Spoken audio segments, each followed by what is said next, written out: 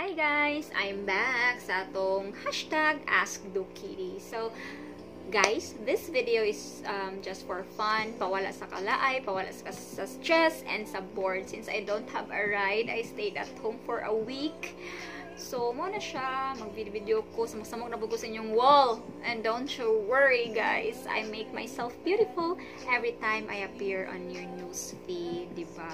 So, today is a very, very cold evening. It's a rainy evening. And our topic for today, guys, is all about TCH titles. So, I'm pretty sure you all know who are they and unsa to ang mga titles din ha sa TCH. So, they are asking, um, why is that I am called the TCH diva daw? So, ano ni siya, guys? Way back, when JV Ejercito is having a campaign here, um, they welcome him and other government nga mga officials.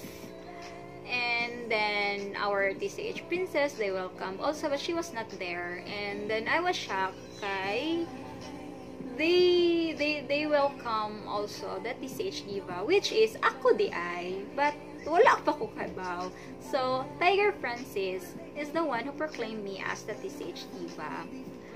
For me um, wala pa siya na-prove nga ako ang TCH, ako ang TCH diva or diva sa TCH since wala pa man ko nag-concert dito.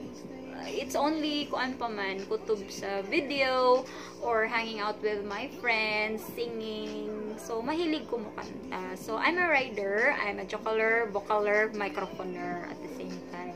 So, mahilig ko mo sing. So, mo na siyang TCH diva.